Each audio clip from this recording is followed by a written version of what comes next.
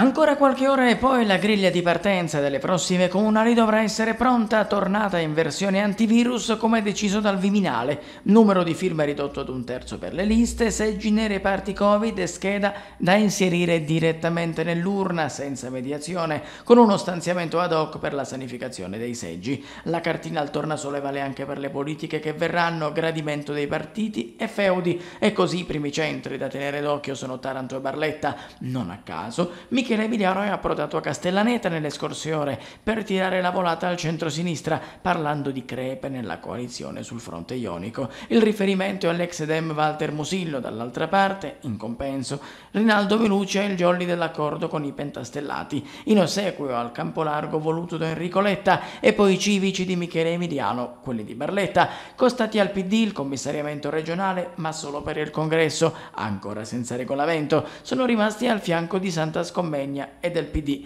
ma lì i 5 Stelle non hanno ancora sciolto la riserva e non si sa se correranno da soli oppure con il terzo polo di Carmine Doronzo. Certo, non con il centrodestra di Mino Cannito. Coalizione larga anche a Galatina. Il centrodestra a trazione civica di Fabio Vergine finisce sui tavoli del centrosinistra regionale con le accuse ai big di giochi di sponda. Tanto più visto che il PD li schiera Sandra Antonica, già vice regionale del partito. Il resto servirà a capire l'aria che tira nel Barese il centro più grande al voto è Molfetta, ma nel Tarantino si vota anche a Martina Franca e Sava, soltanto a citarne alcuni, termometri insomma, meno di 48 ore per chiudere le liste.